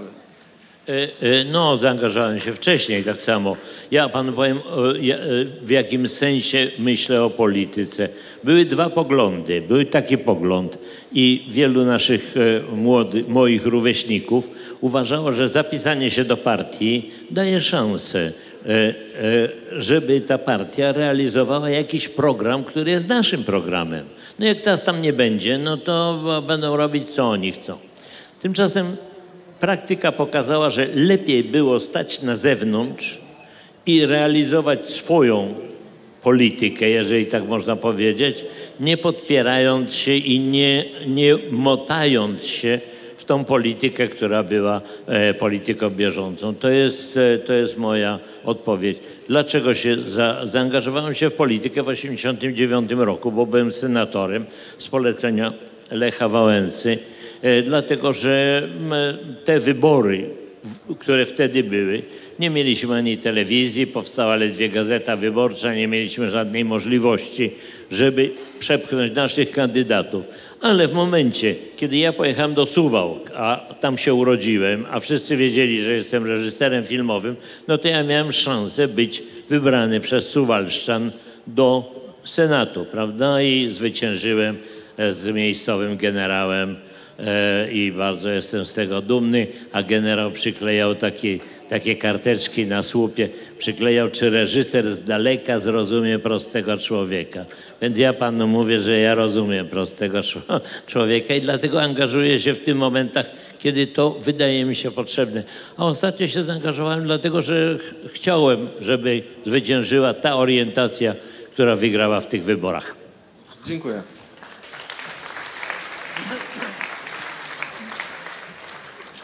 Dzień dobry Panie Andrzeju. Nazywam się Adela Olejnik, jestem kostrzynianką, ale od 30 lat poza granicami kraju. Ostatnio w Indiach, w Afryce, we Francji. Najdłużej w tej Francji, około 25 lat. I, I dzięki Panu w tych klubach naszych polskich mieliśmy zaszczyt oglądać Pana filmy, Pan Tadeusz Katyń, no i wiele, wiele, wiele innych. I za to chciałam Panu serdecznie podziękować. A teraz chciałabym się Pana spytać, jeżeli Pan mi pozwoli na to, bo nie chciał już Pan ani o polityce, ani o Katyniu dzisiejszym, o Smoleńsku. Chciałam się podzielić, jeżeli Pan pozwoli, o informacji na temat, na temat tej tragedii z niecenzurowanych środków dziennikarzy francuskich, gdzie na stronach internetowych wyczytałam pewne rzeczy. Wie pani, nie, nie czytałem tych informacji, więc nie mogę z nimi dyskutować, bo nie wiem, co oni na ten temat mają do powiedzenia. Ale moje zdanie jest króciu, króciutko, pani powiem. Czekam na wynik śledztwa. Dlatego, że katastrofa lotnicza jest katastrofą, która ma bardzo wiele, może mieć bardzo wiele, wiele najrozmaitszych przyczyn. Są ludzie, którzy się na tym znają. To nie jest pierwsza katastrofa lotnicza. Ci, którzy to e, badają, mam nadzieję, że zbadają to obiektywnie i wtedy będę mógł coś powiedzieć, bo będę wiedział, no, znał fakty. Ale chciałam się zapytać, czy, czy Pan pozwoli, żebym ja powiedziała, co ja przeczytałam? Bardzo proszę. Dziękuję. E, Więc e, pierwsza rzecz to była, że to był sa- sabotaż, po- ponieważ pan prezydent Kaczyński sprzeciwiał się Konstytucji Europejskiej, więc był niewygodny. Ale, ale dlaczego właśnie cały rząd i, i też był, z, z, zginął? A e, jednocześnie e, ja uważam, że pan Kaczyński był odważnym człowiekiem, ponieważ e, sprzeciwiał się konstytucji, bo ponieważ czasami miał rację i jednocześnie w ostatniej kwestii tych szczepionek przeciwko tej grypie świńskiej też miał rację, że się sprzeciwił. E, pu- e. Wie pani, ja jestem innego zdania. Mam wrażenie, że... e. Pozwólcie, że Nie pow- powiem tylko kontynuujmy tego wątku, bo niczego Mam- nowego nie mam- powie. Moje zdanie jest takie. e, Akurat nie, prezydent Kaczyński był mało konfliktowym człowiekiem i nie widzę tego, żeby jakaś mafia się na niego zaczaiła, dlatego że on raczej był e, człowiekiem, który szukał jakiejś konsyliacji i za to go, że tak powiem, cenimy, a poza tym nie mówmy źle o zmarłych, Nie. bo to jest taka polska tradycja, niech tak zostanie. Ja mówię dobrze, właśnie dobrze wiem.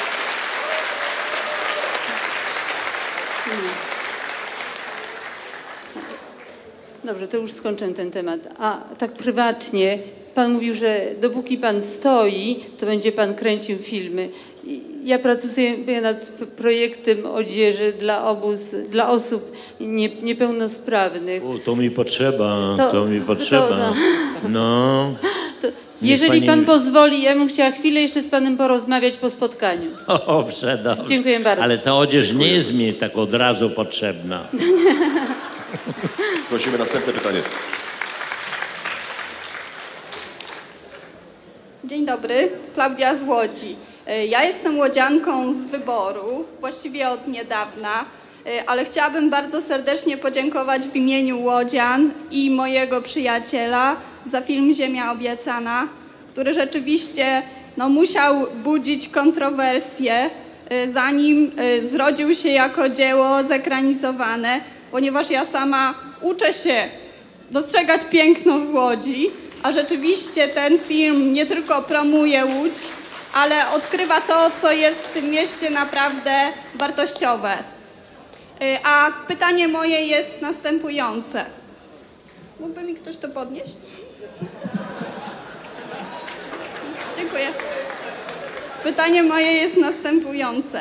Y, Pańskie filmy ujmują obraz Polski raczej w sposób mniej lub bardziej historyczny, a mnie interesuje Pańska opinia na temat y, przyszłości Polski, a szczególnie chciałabym wiedzieć, y, jaka jest Pańska opinia y, na temat obrazu współczesnego młodego człowieka, młodego Polaka i czy Panu się ten obraz podoba?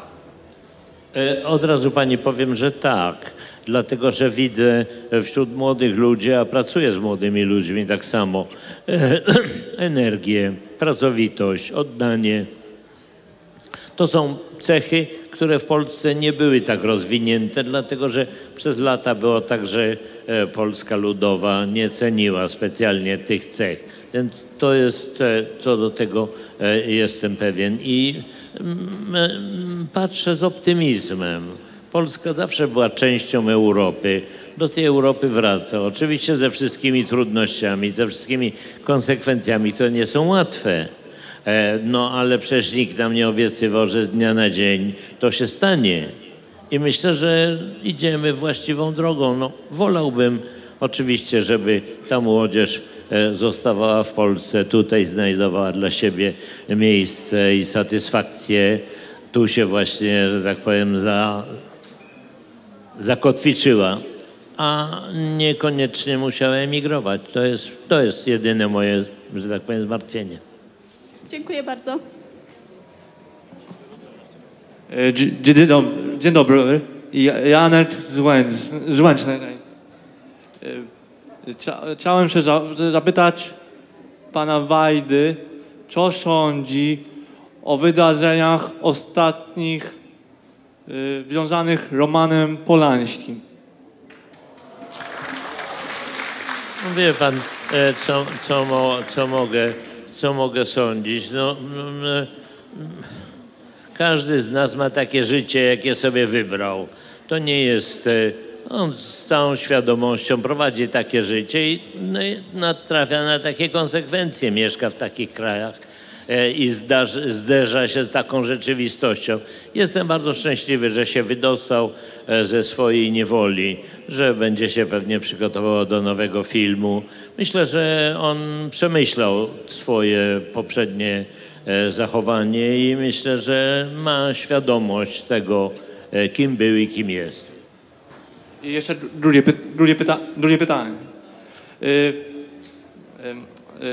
chciałem za- zapytać y, o Kurosza, Kurosawę, bo wiem z, z, z wywiadu, że się pan spotkał z nim.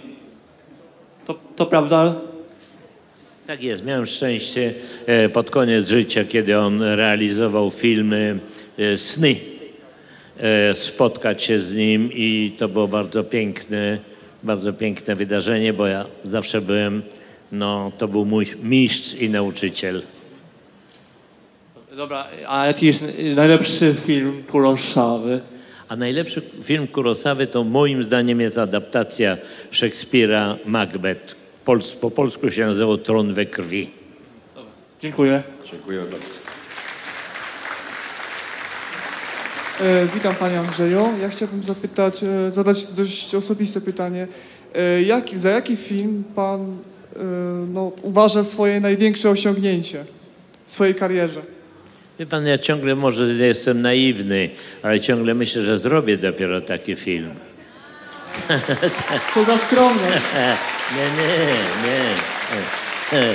Ja myślę, że mam przewrót, ja myślę, że mam przewrócone w głowie. No ale ciągle żyję tą nadzieją, że mi się uda nagle trafić na temat, który się połączy z aktorami, aktorzy się połączą, że tak powiem, z widownią powstanie coś wspaniałego. A czy jest możliwość nakręcenia Pana ręką film o Józefie Piłsudskim? Wie pan, że e, e, przygotowuje się w tej chwili taki film. Ja nie myślałem nigdy o tym. E, Po pierwsze, że w tych czasach, kiedy byłem silniejszy, zdrowszy, robiłem więcej filmów, ta postać w ogóle była, że tak powiem, poza jakąkolwiek możliwością ukazania jej na ekranie, a przynajmniej przez takich ludzi, przez takich reżyserów jak ja, bo tam był zrobiony taki film. No ale to osobna historia. Ja nie, nie, nie, nie, nie myślałem o tym. Dziękuję.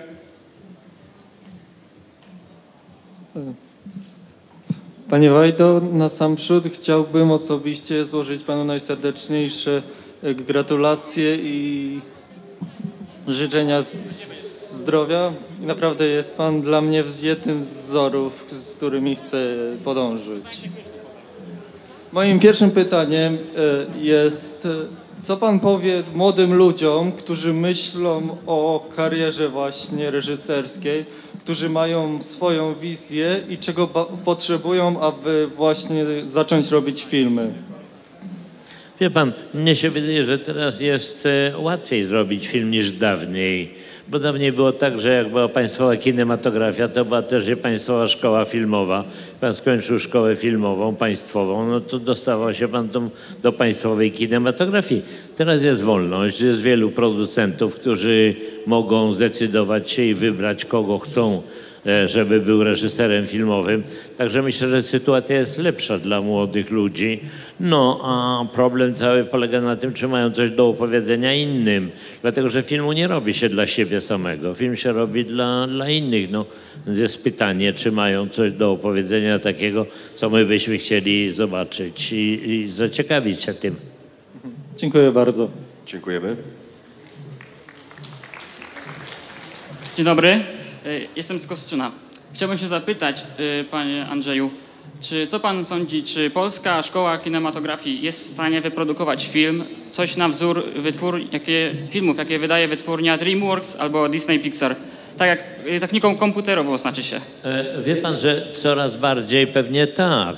Dlatego, że spotkałem się sam, bo e, potrzebowałem, żeby mi zrobili jakieś e, takie robótki, e, że tak powiem, do mojego filmu i zorientowałem się, jak są fantastycznie wy, e, no, zorientowani, jak umieją to zrobić. Tylko to nie jest problem e, e, tylko umiejętności. To jest problem też środków, ale wiem, że się budują takie wytwórnie. Wrocław chce mieć taką wytwórnię, taka wytwórnia buduje się pod Krakowem tak samo, która będzie miała środki, które, no, znaczy urządzenia, które to umożliwią. Ale problem filmów, o których Pan mówi, to jest problem, e, e, e, to jest problem finansowania. A żeby sfinansować film, który tyle kosztuje, film musi być mówiony po angielsku, dlatego że tylko ta, ten język daje szansę, że tak powiem, porozumienia się z dużą ilością e, widzów i żeby oni zapłacili bilety, no bo inaczej się film nie zwróci. Tu jest cała tajemnica. A my chcemy zrobić polski film dla polskiej widowni. Dlaczego my mamy mówić w, w obcym języku? My mamy coś do powiedzenia w swoim własnym. Dziękuję.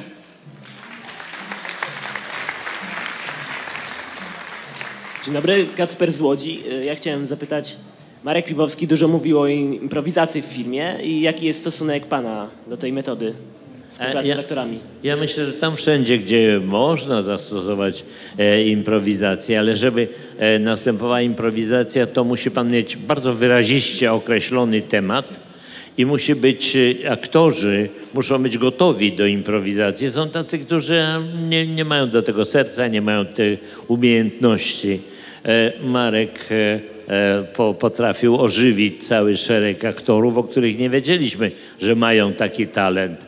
Także to zależy tylko od tych dwóch rzeczy, czy, czy reżyser potrafi tchnąć, że tak powiem, ducha improwizacji w swoich aktorów i czy takich aktorów znajduje. A pan stosował ją czasami w swoich filmach? Tak, tak, tam gdzie jest to możliwe. No, e, e, jeżeli ktoś z Państwa widział film Tatarak, to e, opowieść Krystyny Jandy o tym, jak zginął jej mąż, a mój wielki przyjaciel i, i, i e, współautor e, wielu filmów e, Edward Kłosiński, no to jest właśnie improwizacja. Ona powiedziała, że ona to opowie przed kamerą i przez dwa dni opowiedziała swoje życie. Ja stałem tylko i, i byłem świadkiem, że tak powiem, tego. Dziękuję bardzo. Dzień dobry panie Andrzeju. Przede wszystkim bardzo się cieszę, że mogłem pana spotkać i naprawdę jestem bardzo szczęśliwy. Mam dwa szybkie pytania związane z filmem Pan Tadeusz. Pierwsze jest takie, jak się panu pracowało i jak wyglądały te relacje między panem a taką ikoną polskiej muzyki filmowej, czyli panem Kilarem? A drugie pytanie dotyczy tego, skąd się wziął pomysł i jak wyglądała współpraca y, z panem Lindą na planie? Skąd się pomysł, żeby go do tej akurat roli zaangażować? Jeżeli chodzi o muzykę, to muszę powiedzieć, że jeden raz mi się tylko zdarzyło coś takiego. Ja pracowałem już wcześniej z e, e, tym samym kompozytorem, z Wojciechem Kilarem, ale tutaj zdarzyło się coś niezwykłego. Ja namówiłem się, że on będzie pisał do pana Tadeusza muzykę, nim rozpocząłem film. I nagle okazuje się, że on mi przysyła taką płytkę i tam jest napisane, że to jest polonez do filmu e, Pan Tadeusz. I mówię, napisał do mnie liścik, daje ci sugestie, jak powinien wyglądać film. No, więc ja posłuchałem poloneza, już wiedziałem wszystko. I, I tak się zaczęło, jeżeli chodzi o moją, że tak powiem, o muzykę do e, filmu e, do filmu e, Pan Tadeusz. Zatem dlaczego pojawia się Boguś Linda? Dlatego, że ksiądz Robak nie jest księdzem. To jest e, e, no, zabijaka, jak się dawniej mówiło, który w wyniku swojego losu, wydarzeń i tak dalej został e, zakonnikiem. No to nie trzeba było brać do tego aktora, który się nadawał na zakonnika, tylko na zabijakę, a u nas to kto to jest? Linda. Dziękuję.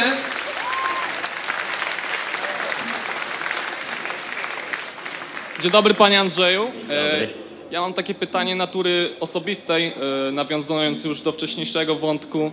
E, mianowicie pan poruszał kwestię, iż poszukuje ludzi mało znanych. Ja chciałbym się zapytać, czy mógłbym wystąpić w którymś z pańskich filmów? Aha.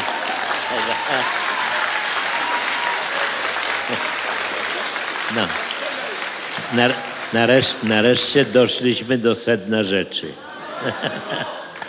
Mógłby pan wystąpić w moim filmie, a czy pan jest aktorem? Nie. E, nie, mam pewne doświadczenie z szkoły podstawowej, występowałem... Dobrze idzie, dobrze idzie. Czym pan występował? E, to znaczy, to było już bardzo dawno temu. E, e, występowałem w roli wilka w czerwonym kapturku. No, wie pan.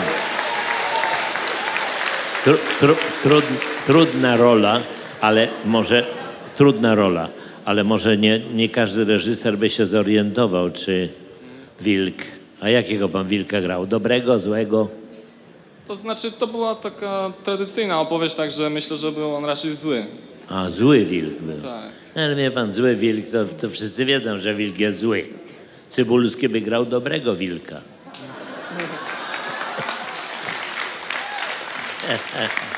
Nie. Dziękuję uprzejmie. Dobry. Na początek chciałem życzyć szczerego powodzenia w kręceniu nowego filmu. Bardzo dobry pomysł. A Cieszę się.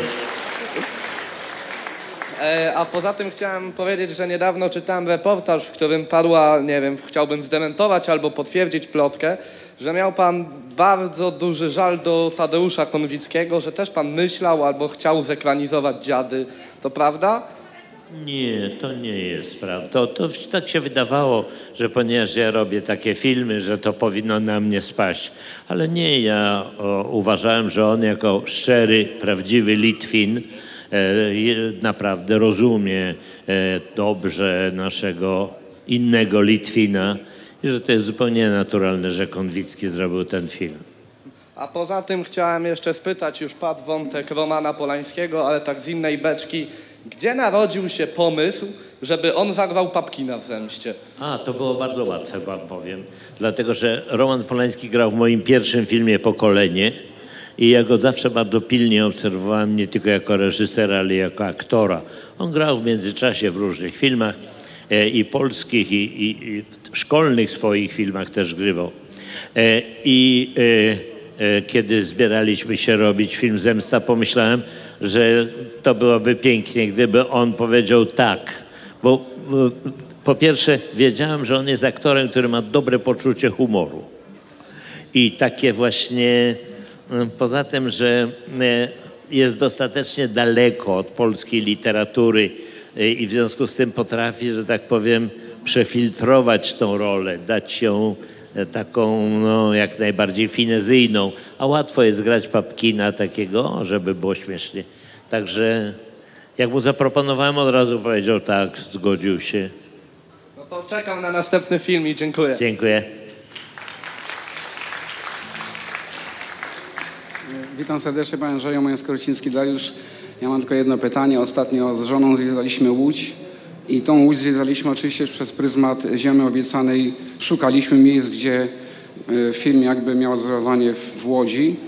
E, Moje pytanie dotyczy tego filmu, ponieważ uważam, że z punktu widzenia aktorskiego i bogactwa ról i typów postaci, jakie tam były, drugiego takiego filmu w Polsce nie ma. Pytanie jest jakby do y, kondycji obecnego aktorstwa. Czy gdyby dzisiaj pan robił casting do Ziemi Obiecanej, czy znalazłby pan takich aktorów w tak zróżnicowanych typach, zarówno do ról głównoplanowych, jak i y, pierwszoplanowych, chociaż kapitalne role były y, drugoplanowe w tym filmie również. Wie pan, że ja wierzę, że tak, bo to, co widzę, ja rozumiem, że aktorzy grają no, ten materiał, który, który mają, ale gdyby dostali trudniejszy materiał, zagraliby go równie pięknie i, i o, o, o wiele większym rezultatem. Także to do tego to nie mam żadnych e, wątpliwości. Oczywiście, że wtedy było szczęśliwie, że, że była taka paleta aktorów zróżnicowanych też pod względem wieku e, i postaci, no, takie jak Pieczka, no to jest niepowtarzalna postać. Kalina Jędrusik to jest też zupełnie ktoś sam w sobie, że tak powiem. i tak dalej, i tak dalej. Także połączenie ich było od razu takie wyra, wyra, wyraziste. E, No ale, e, ale jak już powiedziałem, główny problem polegał na tym, że oni mieli materiał do tego, żeby te postacie zagrać i bez tego niestety tu, żebym nie wiem jak ich dobrze reżyserował, to by nie osiągnęli e, tego, co widzimy na ekranie. Dzień dobry panie Andrzeju, nazywam się Dominik Hernik. Z góry pragnę przeprosić, bo to się zamienia powoli w taki koncert życzeń, y, jakie filmy pan powinien nagrać, ale y, mam takie pytanie. Po pierwsze, y, jestem z Radomia, pan też jest w jakiś sposób związany z Radomiem, jak chyba wszyscy wiemy. I mam pytanie, czy uważa pan, że radomski czerwiec to nie jest temat na film, i czy nie uważa pan, że jeżeli pan go nie zrobi, to długo, długo taki film nie powstanie? I drugie pytanie, czy nie uważa pan, że na przykład y, taka powieść jak y, Konrad Wallenrod y, z Andrzejem Chyrą w roli głównej, czy to nie byłoby coś wspaniałego? Dziękuję. No, zacznę od Konrada Wallenroda, ale wie pan, mm, czy to nie jest utwór, który był napisany w specjalnym momencie, jak pan wie, miano za złe Mickiewiczowi, że napisał ten utwór, bo doszukiwano się tam e, czegoś, co chciano widzieć, a co nie było e, zamiarem autora. E, nie wiem, czy dziś, e, ja bardzo wierzę, że jeżeli zagra coś Chyra, to na pewno wszyscy będą to oglądać, ale nie wiem, czy to byłaby akurat nie dla niego rola. Natomiast chciałbym zobaczyć film o czerwcu e, w Radomiu, dlatego że to było bardzo ważne wydarzenie i ono, że tak powiem, no, wyostrzyło bardzo sytuację w Polsce i nagle takie zrobiło być albo nie być. To jest to właśnie wydarzenia. E, No ono nie ma żadnego odbicia w kinie, także chciałbym zobaczyć. Nie wiem, czy ja akurat nie jestem najlepszym reżyserem i jedynym, ale chciałbym zobaczyć taki film. Dziękuję bardzo. Dziękuję. Jeszcze dwie osoby, dwa pytania i musimy, moi drodzy, niestety kończyć. Jest za 10.16, więc o 16.00 zaczyna, zaczynają się wydarzenia na wielkiej scenie, ale na, na dwa pytania jeszcze, panie Andrzeju. Proszę bardzo. E, Witam serdecznie, Michał z Wrześni. Ja mam do pana, panie Andrzeju, takie pytanie. Czy w pana karierze zdarzył się taki moment, koncept, który pan zrealizował, ale już po realizacji okazał się kubłem zimnej wody i pokazał, że nie tędy droga, że trzeba zrobić coś inaczej? Wie pan, że trudno mi jest tak w pierwszej chwili odpowiedzieć, dlatego że na, na wiele rzeczy, które robiłem i w filmie, i w telewizji, e, i w teatrze, e, patrzę dzisiaj e, z, no jakby krytycznie e, i rozumiem, gdzie był błąd. E, No ale się oddaliłem od nich E, i takich e, takich wydarzeń było znacznie więcej niż jedno. W związku z tym nie wiem, no, od czego bym powinien zacząć. To jest, że tak powiem, osobna spowiedź, którą może kiedyś odbędę następnym razem. Dobrze? Dobrze, rozumiem, dziękuję bardzo. Dziękujemy i ostatnie pytanie. Dzień dobry, Przemek z Gdyni. Ja chciałem zapytać, czy ma pan taki zeszyt, w którym pan notuje wszystkie rzeczy, które wpadną panu do głowy, a w czasie, gdy na planie jest biała plama, to zagląda pan tam i wykorzystuje te różne pomysły. Zeszyt mam.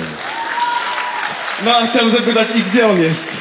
No ale taki elegancki, ale dlatego, że dostałem od naszej przyjaciółki taki elegancki zeszyt, bo normalnie to mam takie bardziej kwadratowe.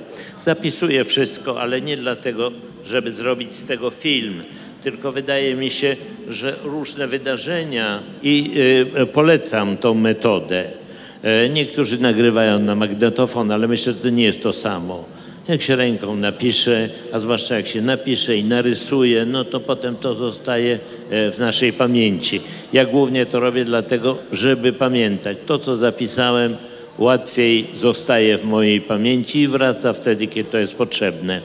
E, A, a, a, jak robię film, no to już wtedy po prostu pracuję tylko i wyłącznie nad tym filmem i wtedy mam inny zeszyt, w którym notuję to wszystko, co dotyczy tego filmu.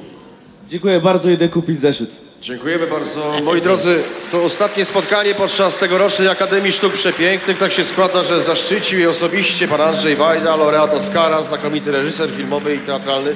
Panie Andrzeju, dziękujemy ogromnie. Dziękuję serdecznie, dziękuję. Panie Andrzeju, dziękuję. Ja w imieniu fundacji chciałbym wręczyć tradycyjnie już, zaraz założę taki nieśmiertelnik. Z nami napisane, bardzo proszę, przystanek Woodstock 2010, Andrzej Wajda, bardzo proszę. Brawa. Cis- Ciskam, ciskam serdecznie. Krysiu, jeżeli jesteś gdzieś w pobliżu... Jest z lewej strony, stoi pani Krystyna Zakładowicz. Podejdź bliżej, no. no. I tutaj jeszcze- Poczekajcie chwileczkę. Jeszcze chwileczkę. Panie Andrzeju, jeszcze książka. Jeszcze chwileczkę, zaczekajcie. Poproszę Krysię moją, żeby się zjawiła, już, się- już nadchodzi. Już Brawa, już brawa jeszcze większe. Nie, nie wiemy z której strony idzie. Z lewej, tutaj. Gdzie małżonka? Przywitajmy gromkimi brawami. A nie, jest.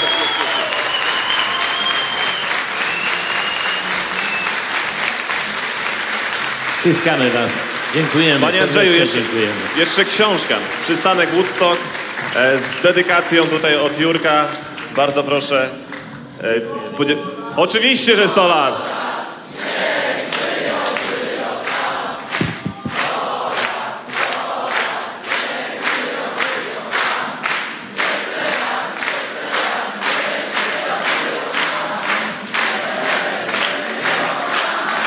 Brawa, brawa! Pozwólcie również, że uhonoruję naszego rozmówcę. Krzysztof tak samo, niezbędnik. e, Dziękuję. Brawa dla Krzysztofa za prowadzenie tej rozmowy. Krzysztof, pan Andrzej, brawa dla całego ASP. Dziękuję, że tu Je- jesteście. je- Jeszcze tylko słówko powiem. Rzeczywiście zrobiłem wielki błąd i ba, bardzo się tutaj... Krystyna brała udział w Powstaniu Warszawskim. Brawa! Była dzieckiem, to prawda, ale brała udział w Powstaniu Warszawskim. Całujemy. Dziękujemy. Wielkie brawa. Panie Andrzeju, jeszcze chwilkę. Tam ci młodzi ludzie, ci ludzie czekają tutaj. Pan Andrzej Wajda.